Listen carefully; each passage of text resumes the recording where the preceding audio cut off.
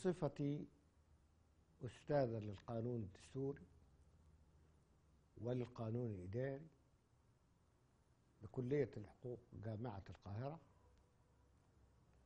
وبحكم خبرتي الواسعة التي امتدت عقود طويلة حيث أنني اليوم على مشارف بداية العام السابع والثمانين يعني أنا سوف أنتهي من سن ست يعني سوف أبلغ سن ستة وثمانين سنة بعد أيام قليلة في أول مارس. وبحكم دراساتي وزياراتي لكثير من الدول والجامعات وبصفة آه، كوني أو لكوني من الذين اتصلوا بالعمل السياسي سواء في مصر أو في الخارج. سوف أحدد كلامي في حدود تخصصي. دون أن أتعرض لما هو خارج تخصصي في العلوم السياسية وفي القانون الدستوري وفي القانون الإداري. ذلك أننا نعيش في مصر في مرحلة في غاية الدقة. مرحلة فارقة بمعنى الكلمة. مرحلة خطيرة جدا. أمامنا مشكلات متعددة في نواحي في جميع نواحي الحياة. تكاد تكون مرافق الدولة جميعا في حالة انهيار. فمرفق التعليم منهار تماما. مرفق المواصلات مرفق الصحة لا أرى أي مرفق. هناك مشاكل كثيرة بالنسبة لمرفق الأمن ومشاكل كثيرة بالنسبة لمرفق القضاء. ولذلك منذ سنوات طويلة كتبت مناشدا الرئيس الأسبق محمد حسني مبارك أن تتبين له الحقيقة وأن يعرف أنه سوف يترك تركة مثقلة بالديون وبالمشاكل لمن يرأس الدولة بعده. ولذلك قلت في خطاب موجه إليه مباشرة على صفحات أكثر من صحيفة ومنها صحيفة المصري اليوم وصحيفة الوفد وغيرها من الصحف في سنة 2005 و2007 سنوات مختلفة وفي قنوات التلفزيون المختلفة. قلت له بال... ب... إنني أشفق على أي رئيس جمهورية قادم لأنه سوف يواجه تركة مثقلة بالمشاكل والديون ويصعب عليه حلها. من يومين بس أو ثلاثة طلع علينا الأستاذ محمد حسين هيكل وبين أن الطريق إلى المستقبل لا زال بعيدا. بعيدا تماما.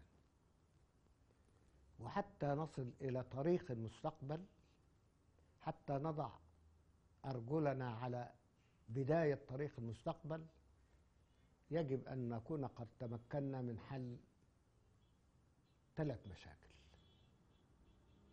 مشكلة المياه مياه النيل مشكلة الطاقة مشكلة الغذاء.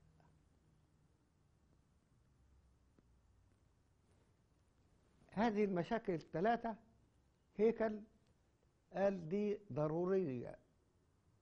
ضرو من الضرورة حلها قبل أن نبدأ في السير على طريق المستقبل. ده مسألة يعني صعبة جدا. تكاد تكون مستحيل. آه وفي نفس الوقت أضيف إلى ما قاله الأستاذ هيكل أن مرفق التعليم مرفق القضاء مرفق الأمن جميع مرافق جميع المرافق الاقتصادية في حالة في حالة سيئة جدا جدا جدا. وأكثر من هذا وذاك وفوق هذا وذاك نجد أن في مصر حاليا انقسام رهيب بين فصائل الشعب.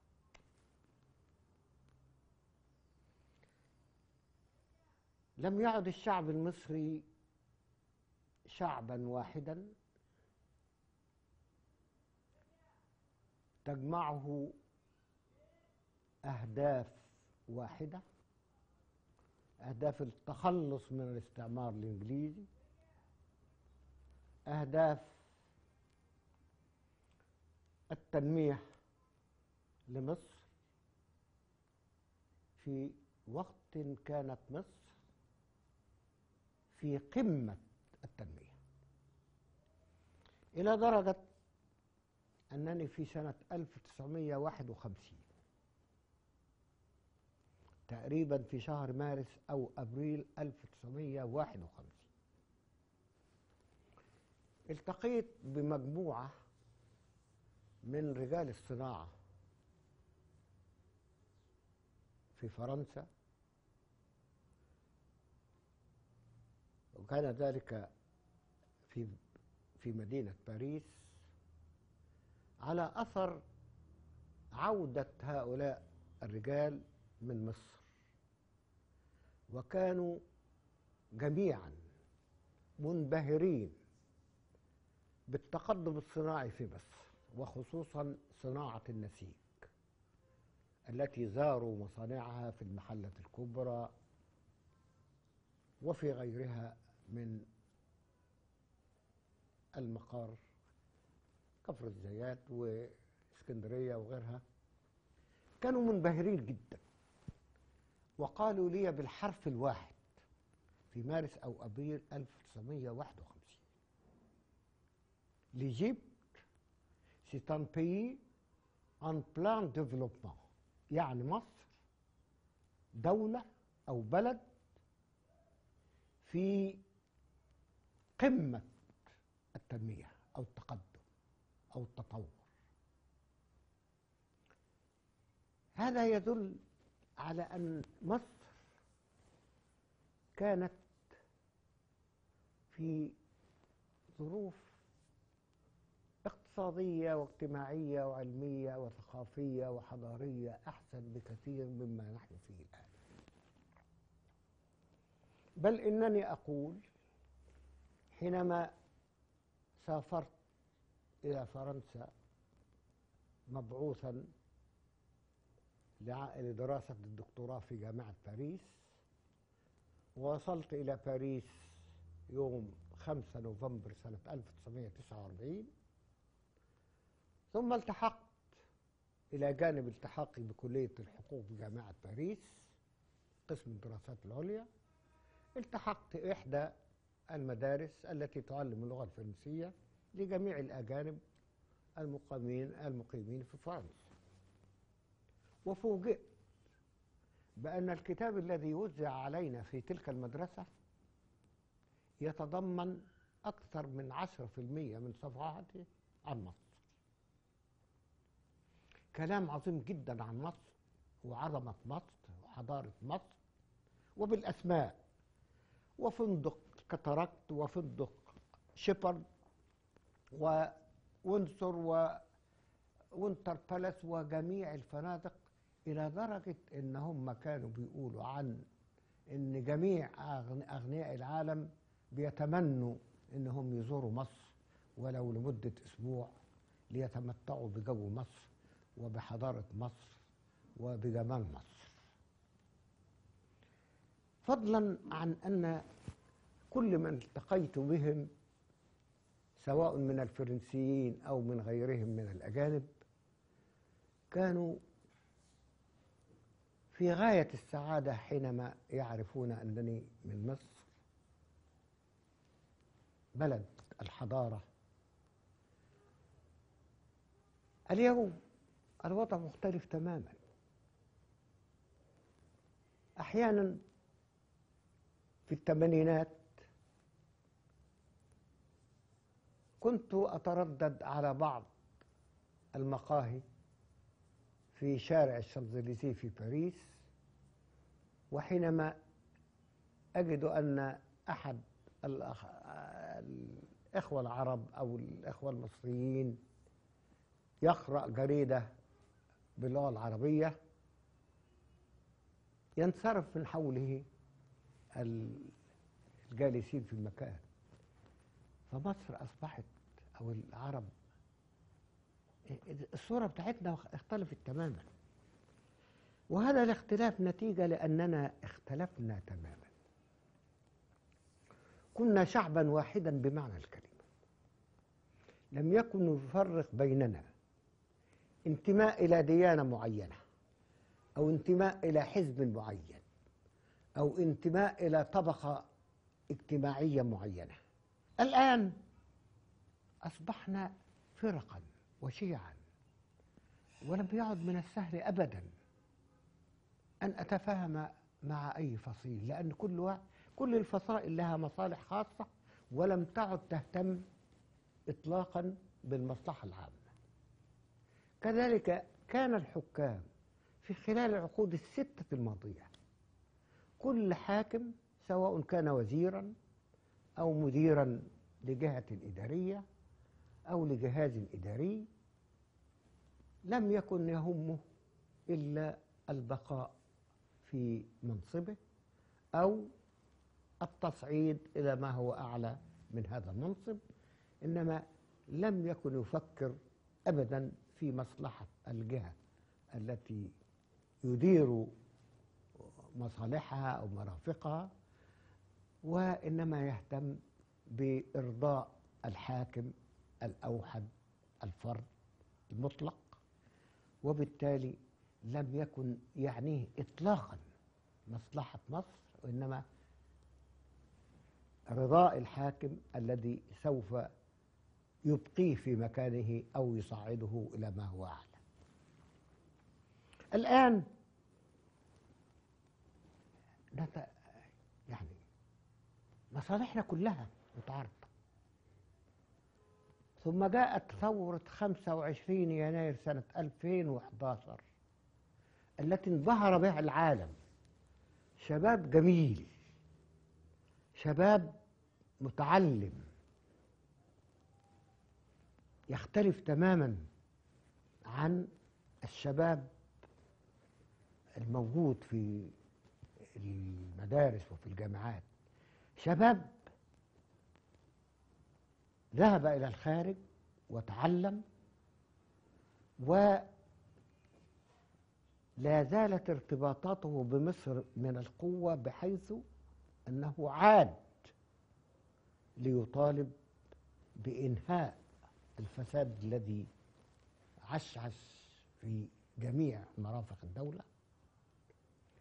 وطالبوا بالقضاء على الفساد وبتحقيق الإصلاح الذي يوفر الحياة الكريمة لكل أفراد الشعب المصري انبهر العالم كله بهذه الثورة ثم فجأة بعد تنحي حسن مبارك وتفويضه السلطة إلى المجلس الأعلى للقوات المسلحة انتهت الثورة.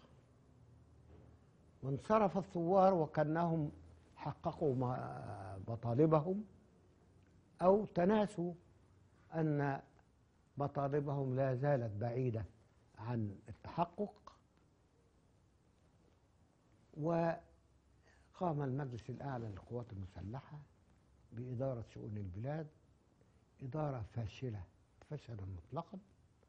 الإضرابات والاعتصامات وقطع خطوط السكك الحديدية وجميع الفصائل لها مطالب ولم يكن في قدرة المجلس الأعلى للقوات المسلحة حل هذه المشاكل لأنها مشاكل تحتاج إلى أموال ضخمة غير متوفرة لمصر ولا غير متوفرة لأي آه، نظام يقوم في مصر بعد الخراب الذي تم في جميع مرافق الدولة في عهد حسني مبارك. الحقيقة إن الأمور صارت من سيء إلى أسوأ في العقود المختلفة العقود السابقة جميعا وفي العقد الأخير بالذات في السنوات العشر الأخيرة لحسن مبارك وفي السنوات الثلاث اللاحقة لتنحي حسن مبارك الأمور تسير من سيء إلى أسوأ. لا يوجد ما يمكن معه جمع هذه الفصائل المتناحرة لأن نظام حسن مبارك تمكن من الفصل بين القيادات والقاعدة. منح القيادات في جميع مرافق الدولة امتيازات ضخمة ومرتبات فلكية بينما أفراد القاعدة في جميع المرافق لا يحظون بأية معاملة كريمة ولا يحصلون على مرتبات تكفي يعني مجرد لقمة العيش. الفوارق ضخمة. تضخمت. مما أدى إلى وجود فصائل في قطاعات مختلفة تتمتع بامتيازات رهيبة. في قطاع الإعلام قيادات الإعلام قيادات الجيش قيادات البوليس قيادات القضاء القياد رجال الأعمال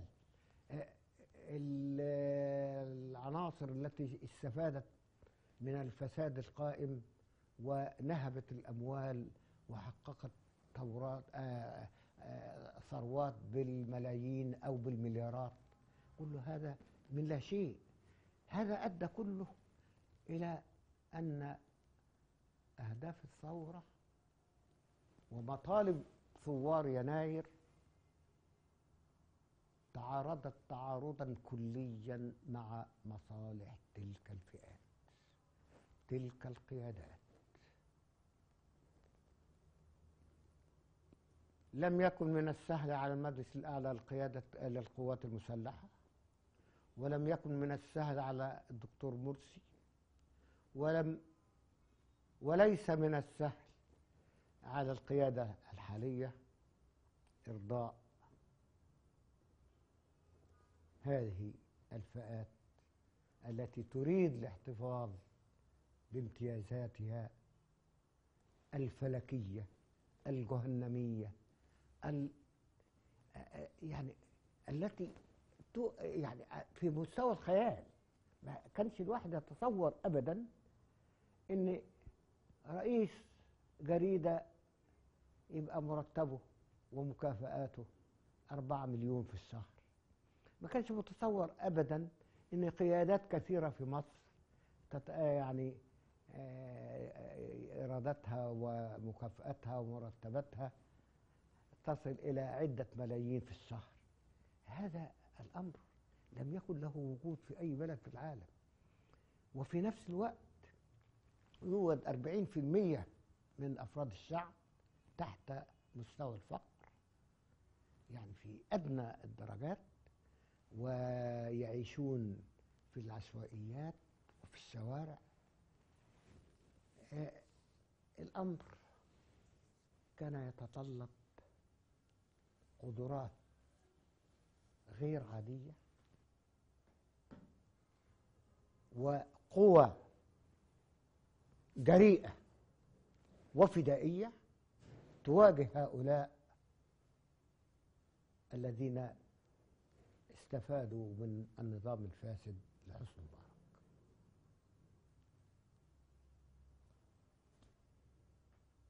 تصور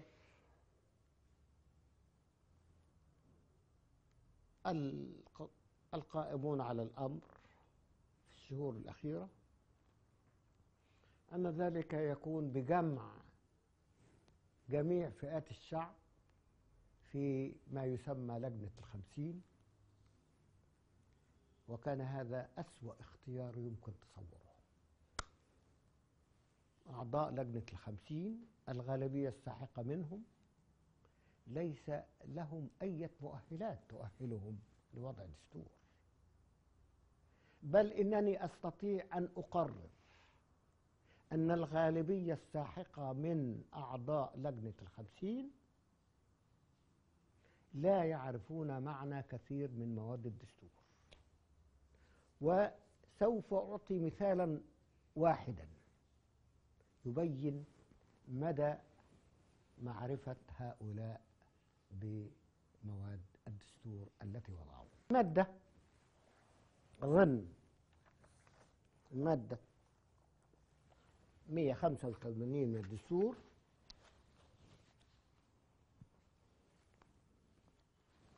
التي تقرر النص التالي تقوم كل جهة أو هيئة قضائية على شؤونه. صح كلام جميل. ويكون لكل منها موازنة مستقلة. صح كلام جميل. يناقشها مجلس النواب بكامل عناصرها صح كلام جميل. هنا بقى وتدرج بعد إقرارها في الموازنة العامة للدولة رقما واحدا. أتحدى. إذا كان فيه في مصر واحد في المية من المصريين يعرفوا يعني إيه؟ إدراك الميزانية رقما واحدا هذا مثال. رقم واحد يعني عشرة مليار عشرين مليار خمسين مليار دون تحديد بنود أو أبواب الإيرادات ودون تحديد بنود أو أبواب المصروفات والشعب لا يعرف أي شيء. ما هي الإيرادات وما هي الموارد ولا ما هي المصروفات أو أوجه الصرف المختلفة. وبالتالي تمتنع تماما أي رقابة على هذه الأموال. وتكون هذه الأموال تحت أيدي قيادة هذه الجهات المختلفة دون حسيب أو رقيب هذا نص في منتهى الخطورة. وأؤكد لكم أن الغالبية الساحقة من الشعب المصري بل ومن أعضاء لجنة الخمسين لم يعرفوا معنى هذا هذا النص. كلمة رقم واحد مش عارفين يعني إيه. هنا. لم يكن عجيبا أن ألاحظ وجود نصوص كثيرة في الدستور تهدم الشعارات والمبادئ التي تقررت في مواد الدستور وفي المبادئ العامة للدستور. حتى المادة نفسها تجد المقدمة تنقضها المؤخرة على الوجه المبين في القانون أو كما ينظمه القانون. يعني خلاص يعني آه، الم- المشرع الدستوري بيتخلى عن مهمته وبيفوض المشرع التشريع العادي ال- للقوانين العادية آه، لتنظيم هذه المسائل. بدلا من أن يحددها الدستور. ال- الدساتير ليست بعدد المواد. لقد تباهى الكثيرون ممن وضعوا الدستور أنهم وصلوا بعدد آه، المواد إلى 200 كذا و40 وإنهم زودوا على دستور 2012 45 مادة. إيه إيه هو ال- ال- الدستور بعدد المواد؟ بل بالعكس من الدساتير المحترمة جدا الدساتير المختصره بل الدستور الإنجليزي بلا نصوص مجرد مبادئ عامة استقرت في ضمير الشعب البريطاني وأصبح يحترموها احتراما كاملا.